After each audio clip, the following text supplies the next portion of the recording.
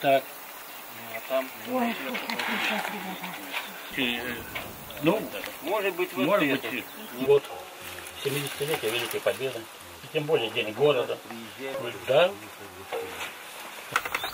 Но это уже совсем другая история. да, это уже другая история. Толщина. Она там внутри бронированная и сантиметров 35 точно. Это долговременная оборонительная точка ДОТ. Стояла на окраине Кёнигсберга в районе спиртобазы сейчас, которая там принадлежит ликероводочному заводу. Когда там делали расчистку э, территории, он стоял в нише, стена была разрушена, вот стена, типа вот этой вот стены, и там только была ниша.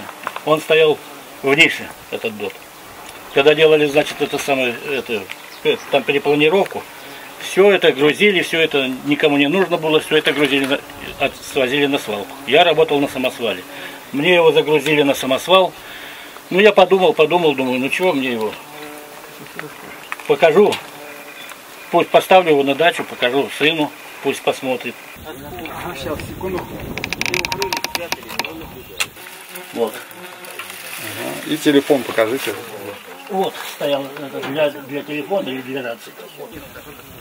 Как вот ты не показывал? Вниз. Вот он сохранил.